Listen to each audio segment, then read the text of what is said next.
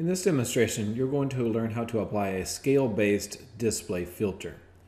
So display filters are queries that limit which features of a layer are which features on a layer are going to be displayed, and they can be determined either by a scale-based display filter or a manual display filter.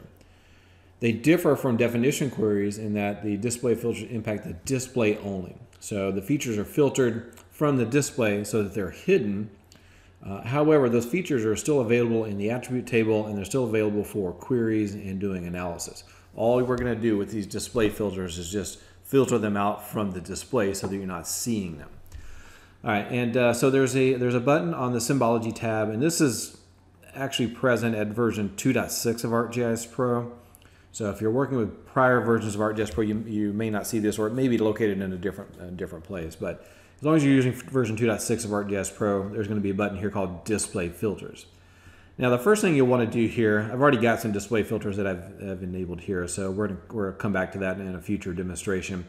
But the first thing you need to do is enable display filters. So if you click on enable, uh, that brings up uh, your, your options here. And so your options are by scale or by manually setting display filters. In this particular demonstration, we're focusing on scale-based display filters.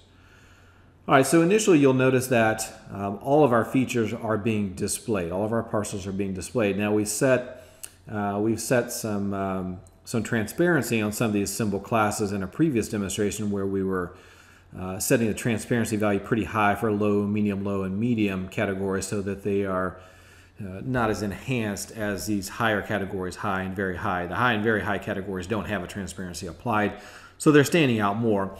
However, all of these features are being displayed um, currently. So what we're going to do with this display filter is we're going to filter this out a little bit. And so in this case, uh, what we want to do is we want to set a scale-based display filter. And what we're going to do is we're going to display features where the market value is greater than $500,000 and the map scale is less than 1 to 50,000.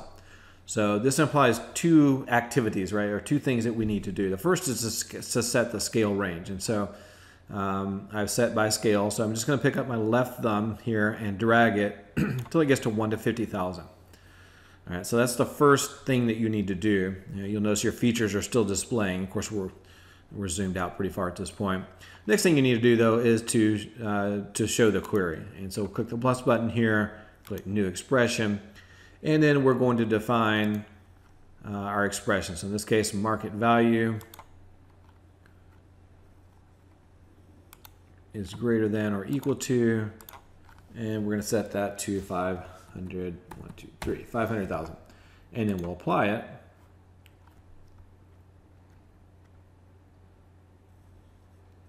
And then as you zoom in, now we get it to under 50,000. So you'll see with your map scale below 50,000, I may want to zoom out a little bit more here. Right, but what this is doing now is it's, it's ensuring that uh, only features um, that are greater than or equal to $500,000 in terms of the market value, only those features are going to display once I'm inside of 50,000. 1 to 50,000 is my scale, and I am in this case, I'm at 1 to 41,000 uh, 334. But you can see those parcels that are less than 500,000 are no longer drawing. Right? So as I zoom in, I zoom out, you can see that display point. So as I go over 50,000, then those features are going to be displayed again. As I zoom in, then they turn off. All right, so that's what we call setting a scale-based display filter. In the next demonstration, we'll look at creating a manual uh, display filters.